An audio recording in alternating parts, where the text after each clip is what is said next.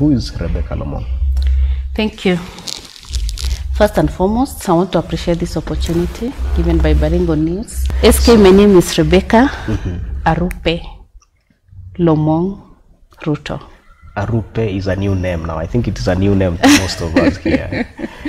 Yeah, uh, Rebecca yeah, Arupe yeah. Lomong. Yes, Aru- Rebecca Arupe Lomong Ruto. Mm -hmm. Uh, my clan is Toyoy. Mm -hmm. That's me. Toyo the rain. Toyo the Rain Ropta Uh-huh. Ilat. That's me. That's my clan. Mm-hmm. Yeah. Uh, oh, my home is Kabartonjo. Mm-hmm. That's Baringo North, a village called Kipkogom. That's where I live with my family. Uh, I am married, blessed with children. I'm a Christian. AIC, Kabartonjo. That's where I worship. Uh, I was born and raised in a village called Tangulbei. That's Tiati. Uh, you said you hosted Tiati MP recently. Yeah. Yeah, that's the MP of my, the place where I was born and raised. That's Tangulbei. I basically grew up in Tangulbei village. I'm a Savannah girl. Yeah. Yeah, and I'm so proud to be a Savannah girl. Great. But now I'm in the Highland. Savannah, you were born and raised in Tangulbei. Yes. I'm sure someone is interested to know about your education background. Yeah. Ulizaliwa Tangul Bay. Where did you school? Yes, mm -hmm. that's where I'm heading to. Yeah. I school in Tangul Bay Primary School. Mm -hmm. It's a public school. Mm -hmm. Uh, all through until I did my KCP. That's 1997. I sat for KCP in 1997. Oh. Then I proceeded to high school. I, will, I came to Kituru High School here. That's in Baringo Central. After that, I cleared my Form 4 in 2001. Uh, then I proceeded to Moi University. Yeah. Chepkoilel campus by then. It's now called University of Eldoret, where I did Bachelor of Education Science. Ah, wewe ni mwalimu? I'm a teacher by profession. Oh, that's a surprise. yes, I teach mathematics and chemistry. I'm actually supposed to teach mathematics and chemistry, but I didn't. I didn't manage to teach. I didn't even get to class. Immediately, I got employment even before my graduation. Uh, I got a chance to serve World Vision an internship program for mm-hmm. one year. Mm-hmm. So that was immediately just before graduation. I joined World Vision, mm-hmm. and then after that, I got employed. I did good job during my internship. So I got employed with World Vision. So that means I didn't get again interest to go back to teach. I decided to divert and concentrate with community work. So I went back to school and I did masters in development studies. Masters why in development studies. Yes. Uh-huh. Yeah, so that it can be relevant with development work that I was doing uh -huh. at the moment. Was that influenced by your job at that time? Yes, while at this the is World World Vision? Vision. It's a non-governmental organization. It's a humanitarian organization. It's mm -hmm. about serving people and transforming lives through uh, empowering them. Yeah. So I decided to go to school so that I can be able to learn how to touch lives directly. Uh, that's when I did my masters. Which The- university is that? Uh, I went back to Moi University. Aha. Yes, yes, yes, yes, yes. Then after that, I served World Vision for seven years. Mm-hmm. Yeah, seven years. That is from which year to which year? That's from 2006 September. Mm-hmm. I did the internship for one year. Mm-hmm. Then after that, I got employed straight away. Uh-huh. So my I, I resigned from World Vision in 2013 when I joined county government. Uh-huh. Yes. So, from a teacher to a community Yes. development person, Yes. Yes. How was the swing like? Uh, how did you get to adapt from being trained as a person to teach and now going to handle community related issues? You know the beautiful thing with teaching, it's a social science. uh-huh. Education is social science, so it's about people. You know, teachers also touch lives directly. But you went, you studied science. You're a STEM person. Yes, I did chemistry, and, Chemistry and mathematics, mathematics. Yes, but it's all in all, it's a social science.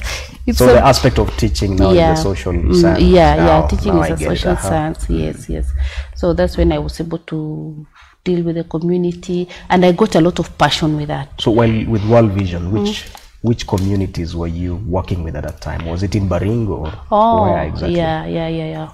When I got employed, my first employment, like the internship one, I served at Chemolingot. Uh-huh. That's Nginyang ADP. Mm-hmm. Then I got employed and I was posted to Koloa. Mm-hmm. That's Koloa office. Mm-hmm. After that, I was transferred to Tinderet, that's in Nandi. I served there for another two years. Then I got transferred again to Moiben. I was a project officer in charge of education, mm -hmm. HIV and AIDS mm -hmm. projects. These are projects under the organization. Yeah. So I served in Mebeki up to 2013 when I got a job to come to the county. Well, from the NGO world to county government, Yes. what was your role at the County Public Service Board as I had hinted earlier, maybe? Yes. Maybe before that, I, I also did a diploma in human resource. Oh, Yes.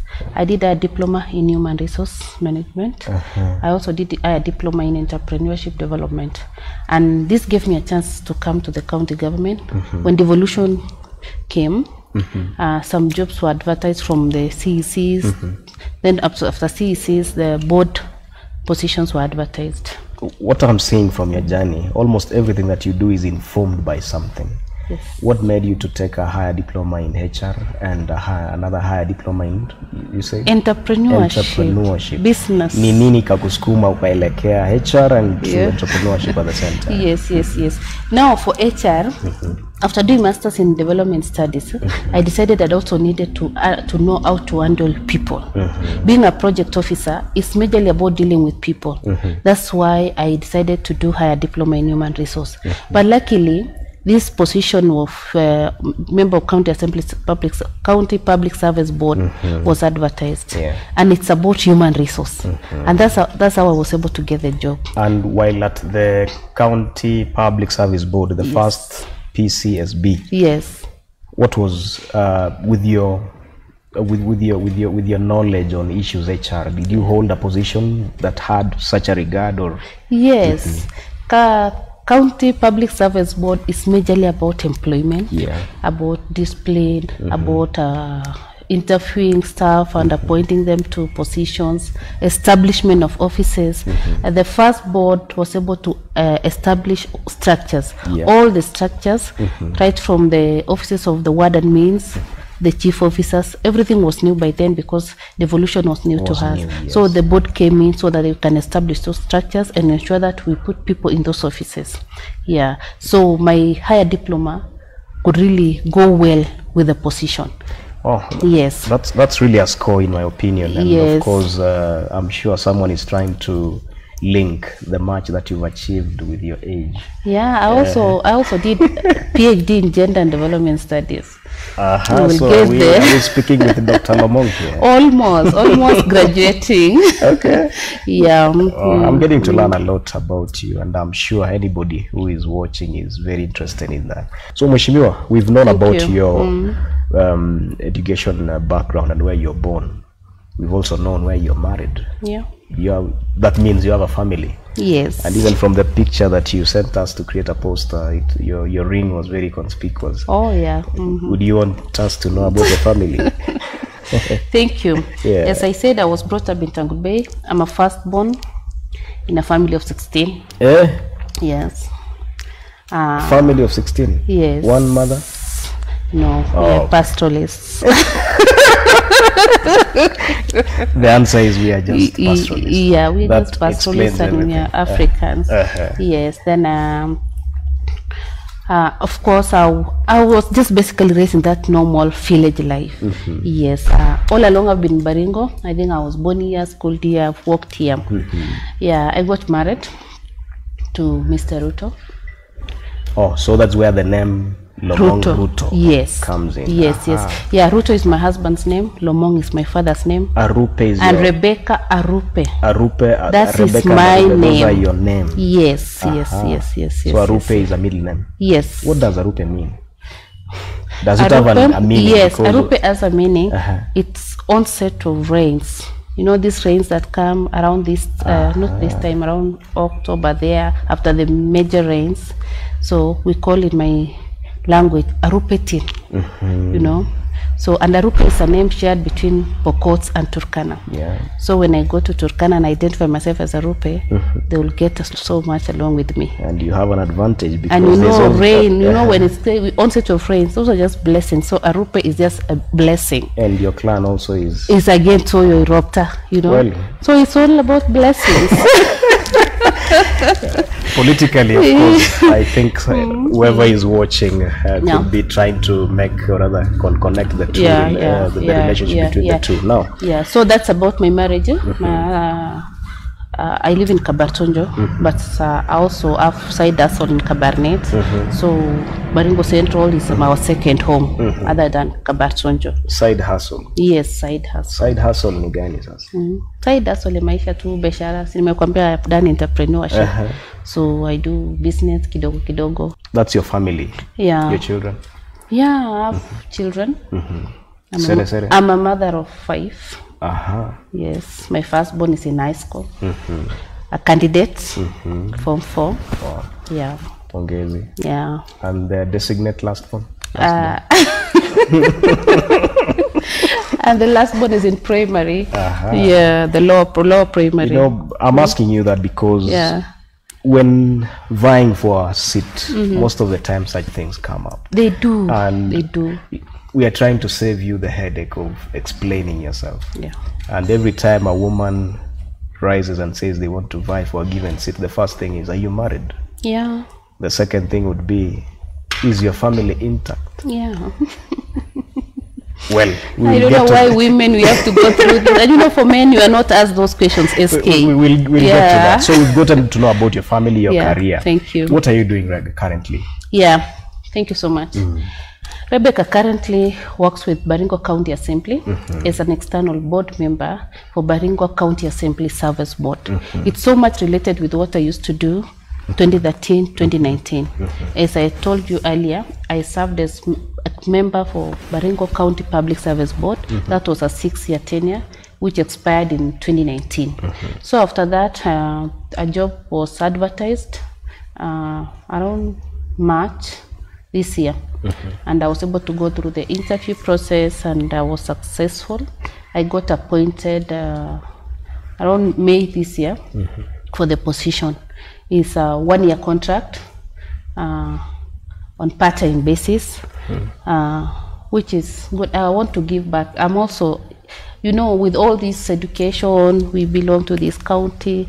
It's also good to give that skill, the experience I got in the public service board. That is one of the reasons I got considered. Yeah. So that's what I'm doing at the moment. I see. So, Thank you. how long have you been serving at the county assembly? And if we had to say cumulatively, how much time have you worked in government compared to private? Okay. In private, I served around seven years, and now in the government, if I had, uh, if I do the six years and this, let's talk of around thirteen years. Let's say six years, seven years this side, seven years the other side.